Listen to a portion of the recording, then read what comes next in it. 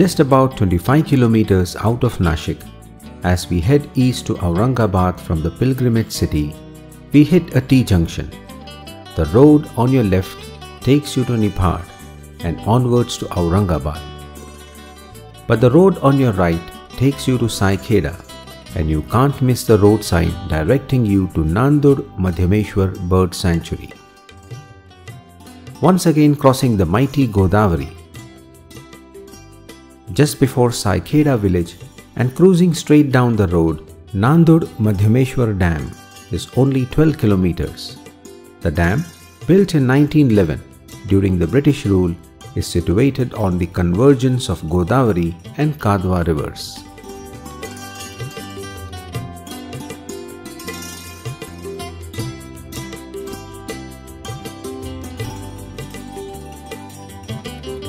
The name Nandur Madhyameshwar finds its origins in the Madhyameshwar temple situated on the banks of the river Kadwa and the Nandur village close by. The temple is located right in the riverbed and was renovated a few years back. If you look carefully to the left of the temple, you will see a number of rocky ditches and thousands of nests of swallow birds around them. Swallow birds build their nests with mud and their own saliva to bind mud and rocks together to such solidity that these nests survive even the fiercest of the floods and can last even a thousand years. Salim Ali, the world renowned ornithologist, was amazed to find these colonies of nests when he visited Nandur Madhyameshwar during his travels across India. River Godavari converges with Kadwa just before the small dam and its backwaters extend all the way up to the villages of Manzargaon and Sapadgaon. It's these vast and shallow wetlands that have become a home for a number of species of birds that find this a natural habitat for roosting and nesting.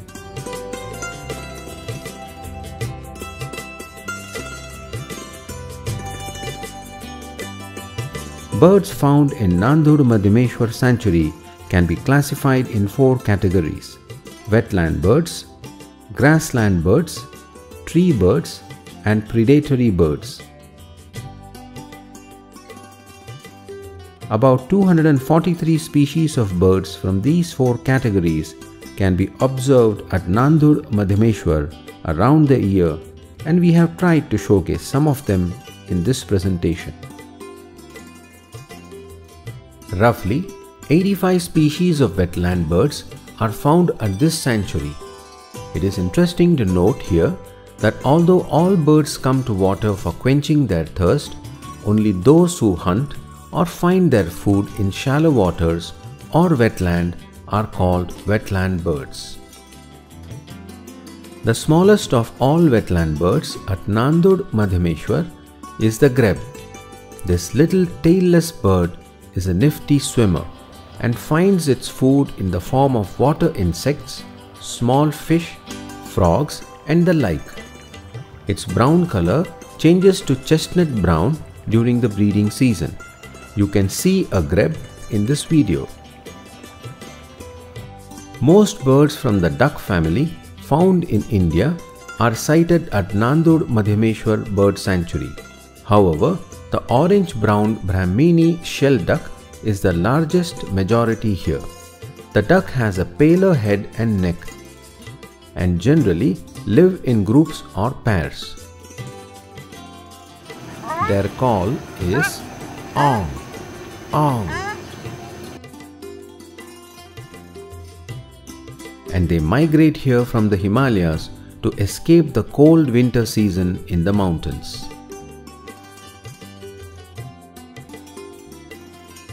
Another bird that migrates to these warmer climates from the colds of North India is the northern shoveler.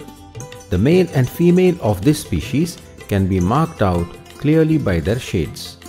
While the female is generally light brown, the male's chest is white and the wings and the back are brown in color. The head and neck are glossy green and the eyes are distinctive yellow. Another peculiar feature of this species is the beak, which is flat and long.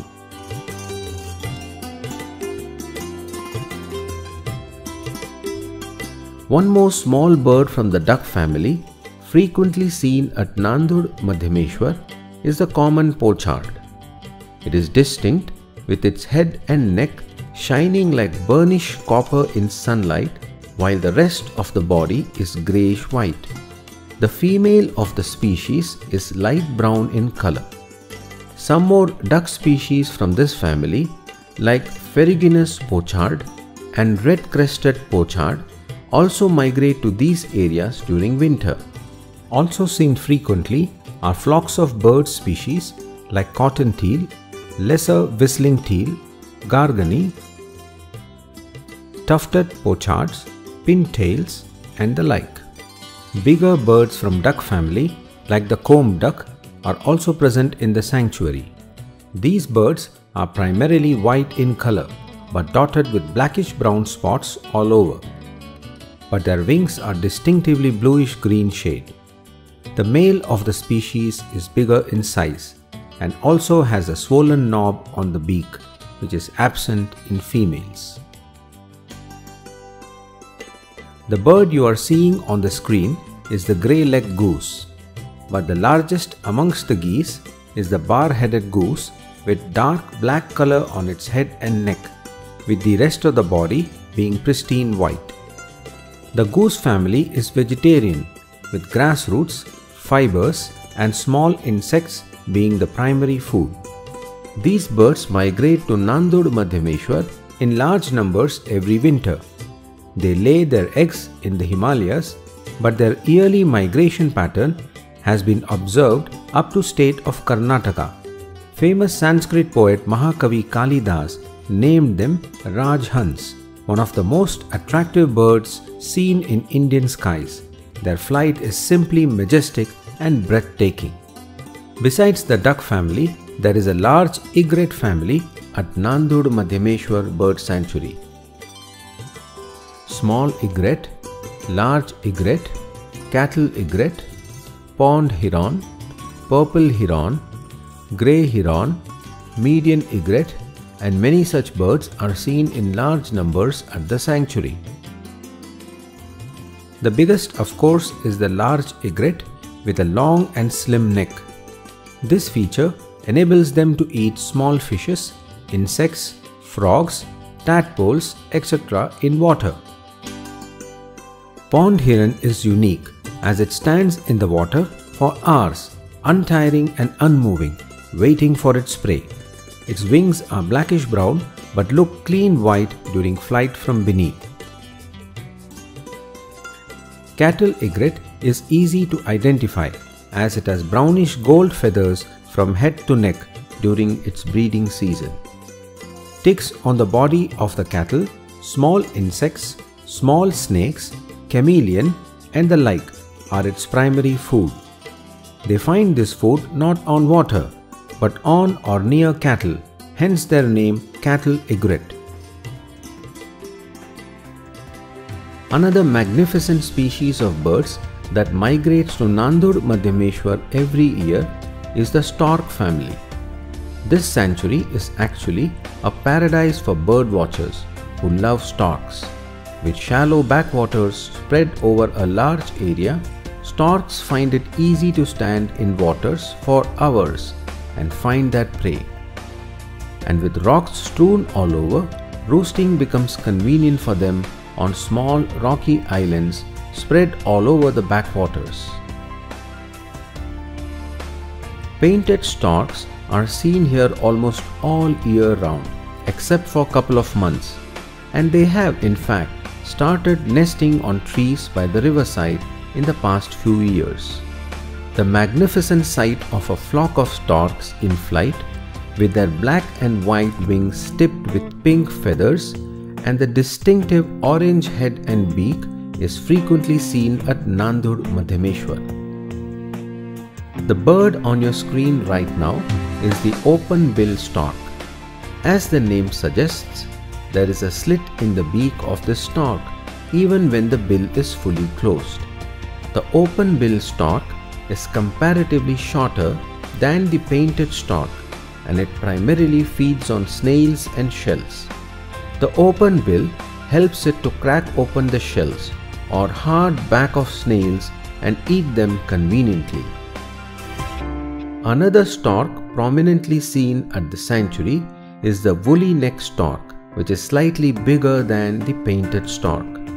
As the name suggests, its neck has woolly white feathers, while the plumage is greenish, brownish purple shaded. This is, however, a local bird.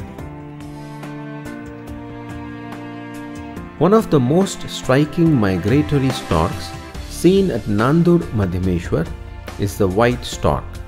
It migrates from Europe every year and has a distinctive and impressive walk.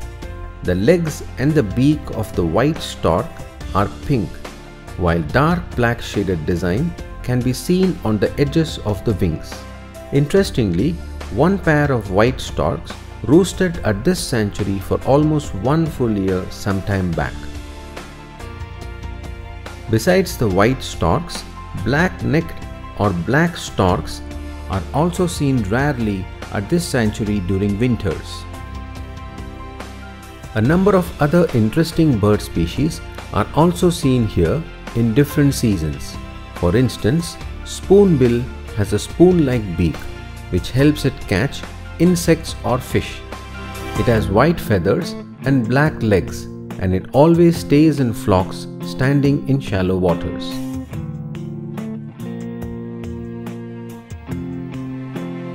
Glossy ibis is another comparatively small bird found in large numbers at Nandur Madhyameshwar.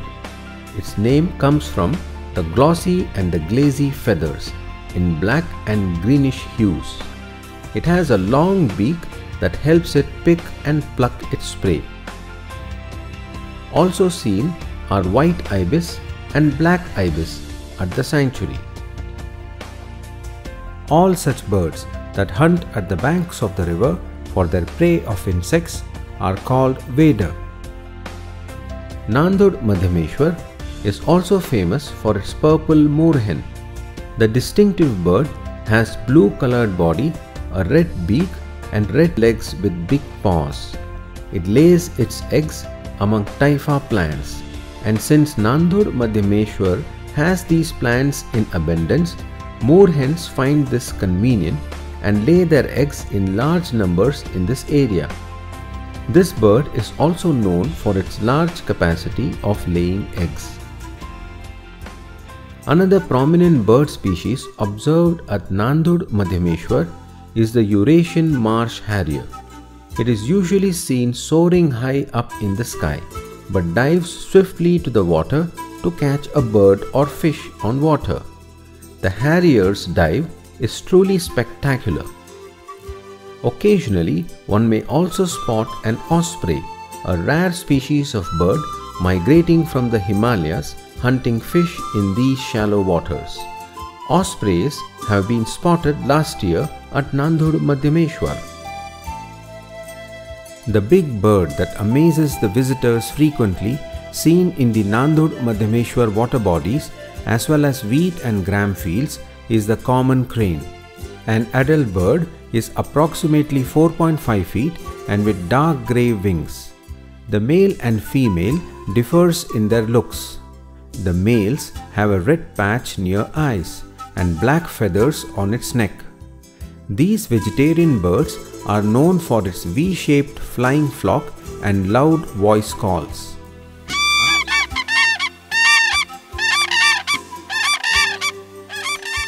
Another species in cranes visiting Nanduru Madhyameshwar is the Demoiselle crane. They migrate from Siberia in the winter.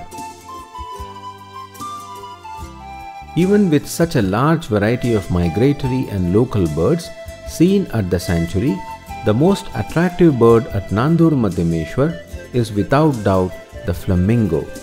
Standing majestically at a height of about 5 to 5.5 feet, with pristine white and pink feathers on the outside and orange-black on the inside, their S-shaped necks simply make for an amazing sight. And as they soar into the skies in the flocks of hundreds, the spectacle is nothing but awesome. Flamingo is a vegetarian bird who lays eggs in the muddy sands at Kutch in Gujarat during monsoons. The hatched chicks grow there but migrate in summers and monsoons to humid wetlands like Shivadi or Airoli in Mumbai. Since Nashik and Nandur Madhyameshwar happen to be on this route, they often set a base here too. And they seem to like this sanctuary as their number seems to be growing each passing year. They also help keep the backwaters clean as they eat algae voraciously. Friends, Maharashtra government's forest department has come up with a number of initiatives that are aimed at improving the basic infrastructure and facilities available at Nandur Madhyameshwar Bird Sanctuary the past three years. They include dormitories, tents for overnight camping, watchtowers, and viewing galleries with proper pathway for bird watchers and nature photographers, and most importantly, compound walls to protect the bird life in these backwaters from stray animals. The area is also manned by forest guards who are tasked with the safety of the area.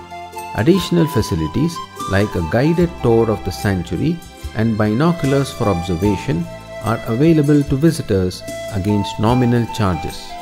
A nominal entry ticket is charged for visitors to the sanctuary.